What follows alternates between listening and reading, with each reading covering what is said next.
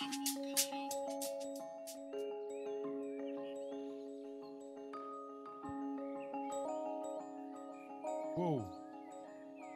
Gerieji Kauno žmonės, džiaugiamės matydami jūs visus čia šį gražų vakarą. LRT Opus transliacija tiesiogiai iš Kauno tęsiasi toliau. Eterija Baltijos čempionai.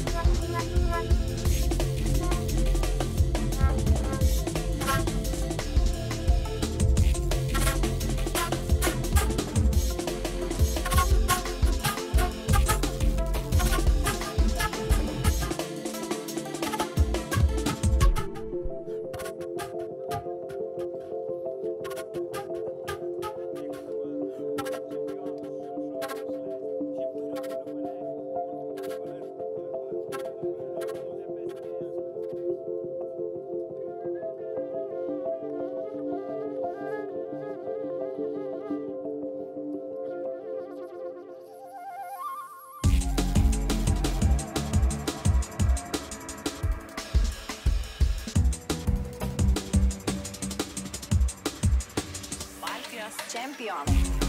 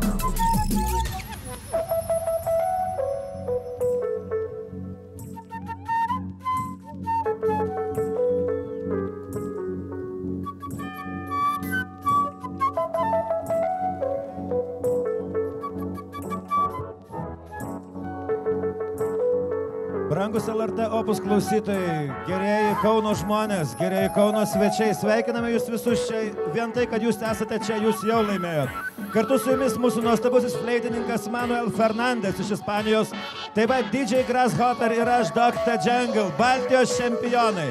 LRT opus tikrai geriausia radio stotis be abejonės, nes po mūsų dar toliau Tomas ir Palmė Žiedas.